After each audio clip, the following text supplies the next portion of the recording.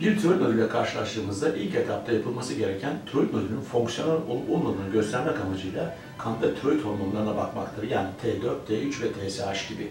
Bunlara bakıldıktan sonra tanıya yönelik olarak yapılacak ikinci adım ise çekilecek olan bir ultrasonografidir ve ultrasonografide tiroid nodülünün organik özellikleri ortaya konur.